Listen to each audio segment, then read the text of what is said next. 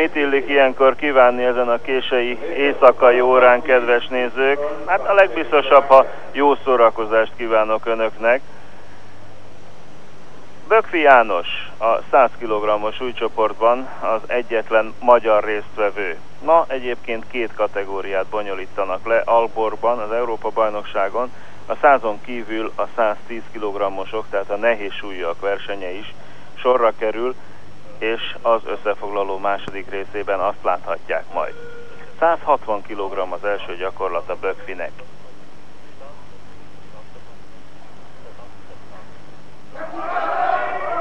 Nem kapkodj el, megvan a bemutatkozó fogás 160 kg-on, és itt is már annyi bal siker érte a magyar súlyemelő sportot, a magyar súlyemelő válogatottat, ezt a viharvert válogatottat, hogy végre egy megnyugtató első fogás, amit Bökfi János produkált.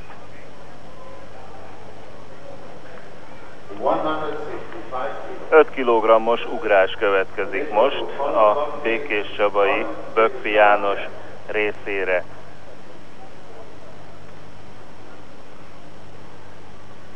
Ő az utolsó magyar szereplője ennek az Európa-bajnokságnak, 165 kg.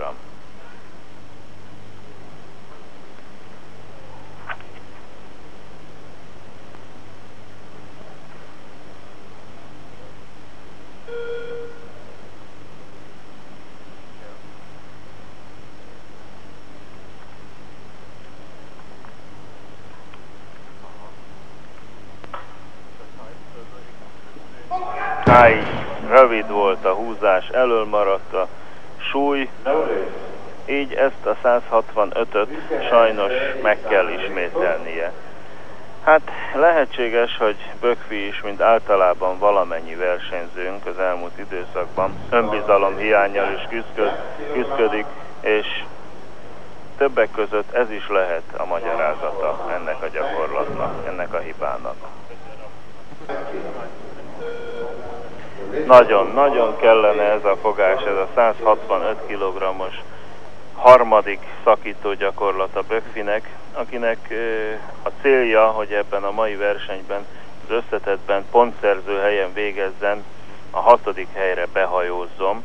Az A csoportban összesen 7 induló van, abból egyet már megvert az Albán Erlint, de hozzá hasonlóan 160-at szakított a B csoportban a török Hussein, akinek könnyebb a testsúlya. Tehát meg kellene csinálni ezt a 165-öt ahhoz, hogy biztos legyen a hatodik hely. Fogják!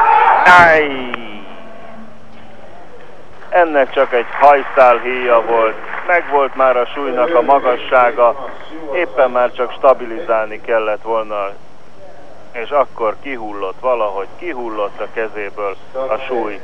Pedig nem esett bele abba a hibába, amiben ilyenkor szokás, hogy túlhúzzák a versenyzők, amikor korábban elől leesik a súly. A 165 így nincs meg. Megvolt viszont már ez a csehszlovák Krollnak.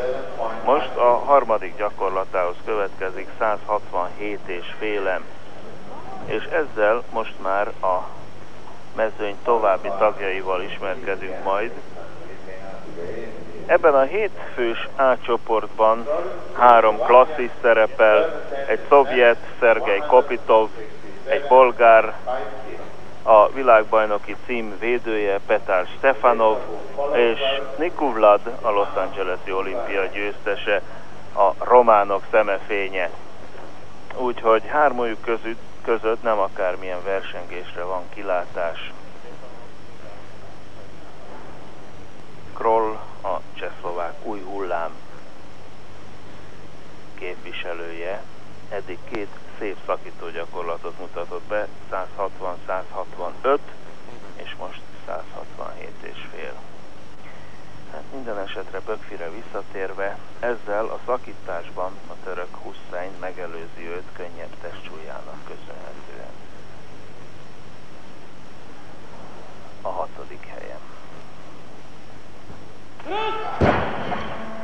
nincs ront.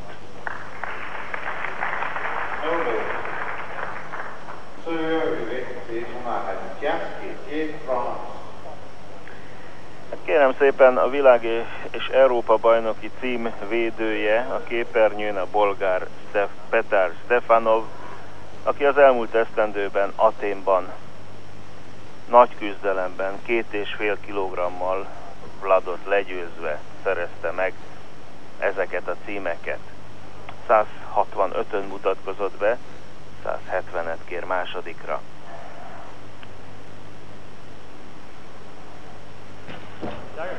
És nincs meg, no? Nem akartam elkiabálni, még a gyakorlat előtt mondani, hogy az első, az általunk nem mutatott 165-ös fogása is elég bizonytalan volt, de hát nem cáfolt volna rám a világbajnoki cím védője, aki javítani kényszerül. Hát nem akármilyen helyzetben jön most a harmadik gyakorlatához Stefanov, hiszen a 165-öt teljesítette eddig csak, de ezt a súlyt az imént látott csehszlovák Kroll és a francia Tournefié is kiszakította, sármójuk között Stefanov testsúlya a legnehezebb. Arról nem beszélve, hogy Kopitov és Vlad még be sem mutatkoztak. Egy szó mint száz a világbajnoki címvédőjének hallatlanul kell ez a fogás, ez a 170 különben óriási hátrányba kerülhet. No, ezt azért nagyon jól tudják a bolgárok. Bocsánat, ezt is nagyon jól tudják a bolgárok, hogy egy ilyen kritikus, döntőnek nevezhető pillanatban hallatlan összpontosítással képesek helyrehozni a korábbi hibájukat. Azzal együtt Aténban 187,5 kg-ot szakított a bolgár, itt most 170 az érvényes.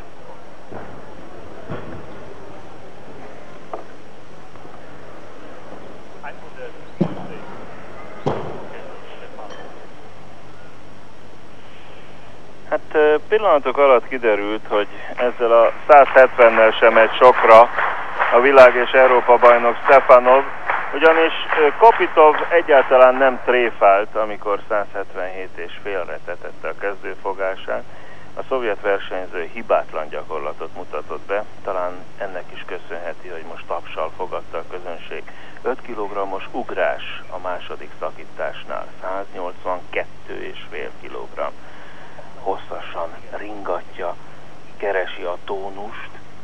meg is találta. Nagyon szépen szakít.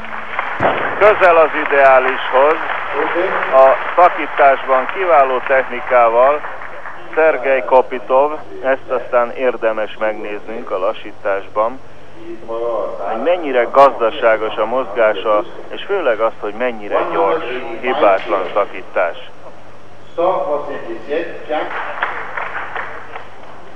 Megint a szovjet fiú a dobogón, a súly 2,5 kg több, mint az imént, és a román Nikuvlad még nem mutatkozott be, Kopitov viszont ezzel befejezi a szakítást.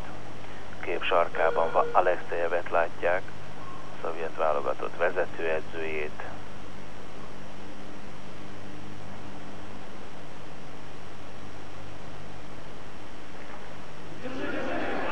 gyönyörűen szakít. Alexej Varcán is a megelégedettség és a büszkeség egyidejűleg. Szergej Kapitov 185 kg és három nagyon szép, klasszikusan szép szakító mozdulat. Egy ilyen szépen kiszakított súlyt alátámasztani nem kis öröm lehet, jó érzés biztos.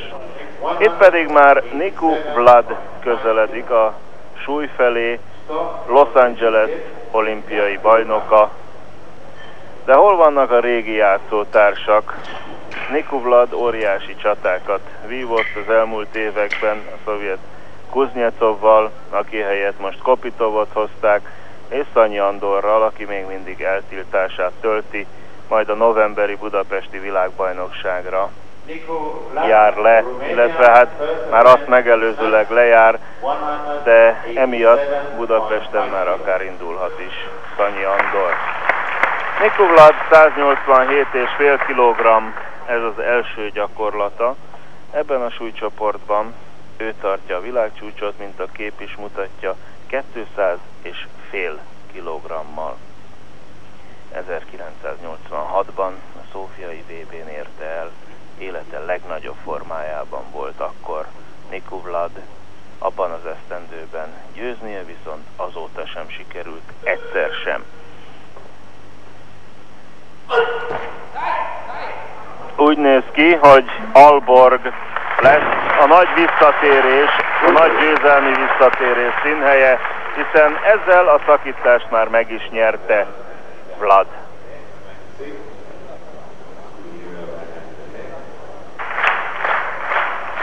Niku Vlad 192,5 kg második szakító gyakorlat. A közönségnek nagyon tetszik.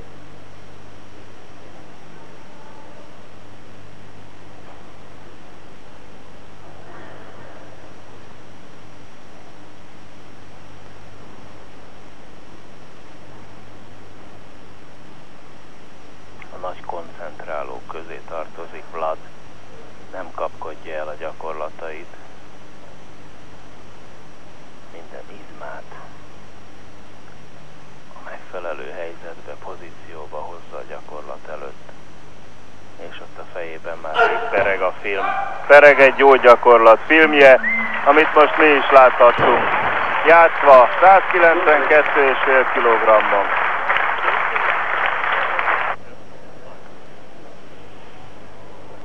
Niku Vladnak a 195 kg-os utolsó szakítása nem sikerült, így 192 és féllel vezeti a szakítás után a mezőnyt. Most már a lökésben vagyunk, ahol Bökfi János első lökés gyakorlata 190 kg. Hetedik lett a szakításban.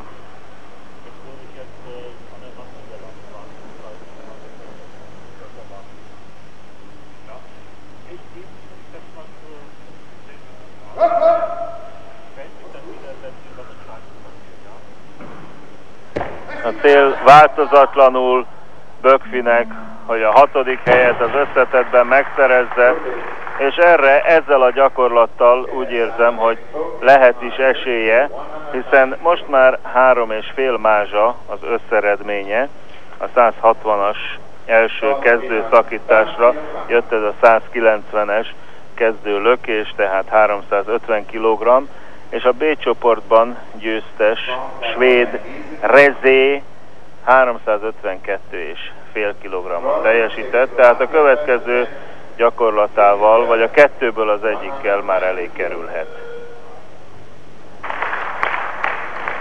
Hát abból a bizonyos két lehetőségből egy már oda van.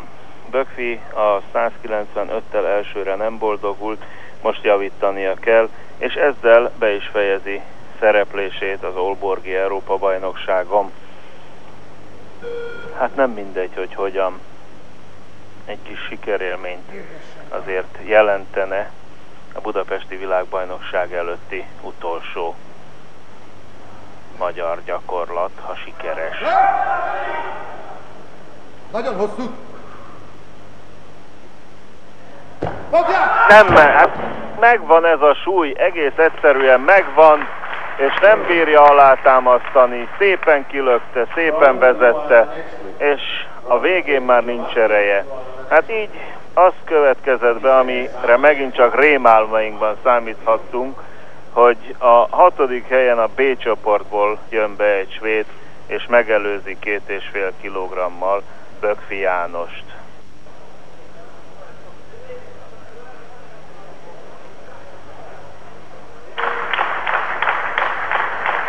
Bökfi János a lökésben nyolcadik lesz, az összetetben pedig a szakításhoz hasonlóan hetedik.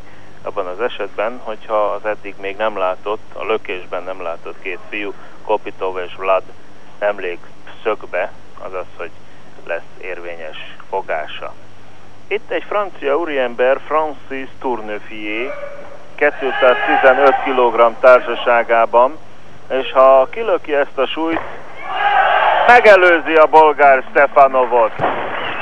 No, nagy taps, egyértelmű nagy taps, és nem akármilyen pillanat ez. Egyben kritikája Stefanov felkészülésének. 26 esztendős, ez a francia orvos, pontosan 10 éve foglalkozik súlyemeléssel, és amennyiben Stefanovnak nem sikerül helyrehoznia iménti hibáját, hát az egy óriási dolog lesz, ha a francia előtte végez. Na itt van a világbajnoki cím védője, Petár Stefanov, az aténi világ és Európa bajnokságon 227,5 kg-ot lökött, itt most 215 kg-ot kér, ez az utolsó lökése, és ha teljesíti, akkor visszaszerezheti a helyét, a harmadik helyet a francia turnőfiétől, ha pedig nem, akkor bekövetkezik a nagy meglepetés. Egy francia a bolgár világbajnok előtt. Mint ahogy e pillanatban így áll a dolog.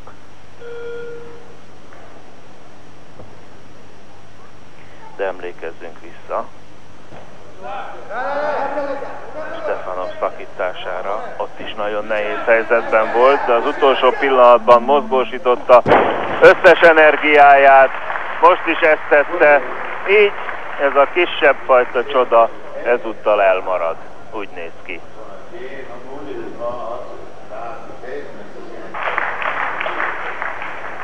Egy szava lehet még a dologhoz a francia turnőfiének, hiszen neki még hátra van az utolsó lökése. Szőulban, Aténban 215-öt lökött. Itt most 220-at kell teljesítenie ahhoz, hogy megszerezze a harmadik helyet, ami egyidejűleg élete legnagyobb sikere, eddigi legnagyobb sikere lenne, lehetne. 165-öt szakított, és most erre jöhet rá ez a 220-as lökés.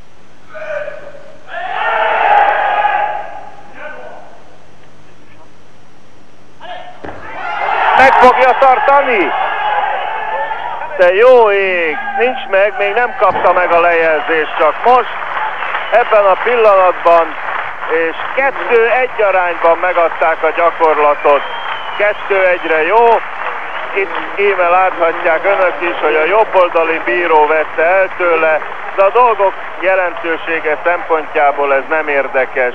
Megvan a franciák Európa bajnoki bronzérme, méghozzá egy bolgár legyőzésével hősies küzdelmet vívott a 220 kg-mal, amit még kimondani is nehéz, nemhogy kilökni turnöfiét túlságosan hátul van az olló, nagyon messziről kell visszahozni a hátul lévő lábát, de megcsinálja. És itt uralta is a súlyt. Közben a dobogóra lépett már Niku Vlad. 222 és fél, amit a román versenyző kért de hát nem véletlenül mutatja a Dán rendező újra és újra turnöfiét, hiszen az elmúlt esztendőkben Nyugat-Európa és súlyem, Nyugat-Európa súlyemelő sportjában csak a nyugatnémet nehézsúlyúak, illetve a brit Davis játszott komolyabb szerepet, és úgy tűnik, hogy e pillanatban csatlakozik hozzájuk Turnöfi is. Igaz, hogy egy fantasztikusan formán kívül lévő világbajnokot vert meg de megverte. Nikuvlad 222 és fél, emlékeztetőül 192 és féllel nyerte a szakítást.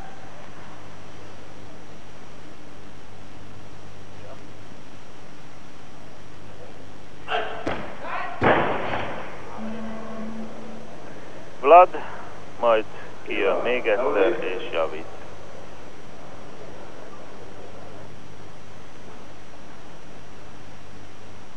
Vlad 7,5 kg-os előnyt szerzett a szakítás után, de Kopitov remek lökő, úgyhogy nagyon kell neki ez a 2,22 és fél, ahhoz, hogy nyugodtan várhassa az eddig még be sem mutatkozó Kopitovot. Összeszedte magát Niku Vlad, 425 kg az összeredménye, ezzel áll e pillanatban az első helyem.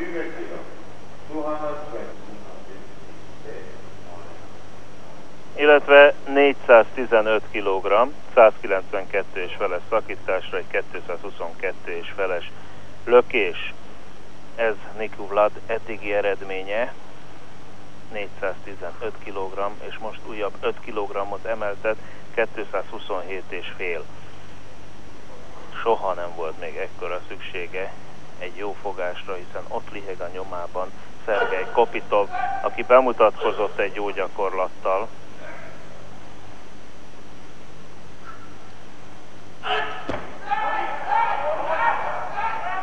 De nehezen ment ez a lökés, már az egész versenyre gondolok, de Nikublat diadalmasan emeli föl kezét, ő valahogy nem tudja elképzelni, hogy Szergej Kopitov be tudja hozni a hátrányt. A hátrány e pillanatban pontosan 10 kg. 420-at teljesített Vlad, és 410-nél tart Szergej Kopitov. Van még két fogása hátra. A szovjet fiúnak könnyebb a testsúlya. Most már minden Kopitov kezében van aki eddig még semmilyen jelentős világversenyt nem nyert. A harmadik helyen testsúly különbség döntött a francia és a bolgár versenyzők között. Lehet, hogy az első helyen is testsúly különbség fog dönteni, ugyanis Szergej Kopitovnak a 235 kg-ot kell kilöknie ahhoz, hogy beérje Niku Vladot, és ugyanakkor könnyebb testsúlyával meg is verje. Két fogása van erre a 235-re. De könnyen állt föl, te jó ég. Hát ilyet de nem láttunk. Öt jó fogása volt, öt jó fogása volt, és Európa bajnokként távozik majd Olborgból. A szakítás után azt mondtam, az ott látottak alapján, hogy lehet, hogy ez lesz a győzelemhez való visszatérés éve és helyszínen Nikuvlat számára, hiszen 7,5 kg-os előnyt szerzett a szakításban. És most ezt a 7,5 kg-ot úgy, ahogy van, el is vesztette a lökésben, sőt, könnyebb testsúlyának köszönhetően Kopitov az új Európa bajnok. 420 kg.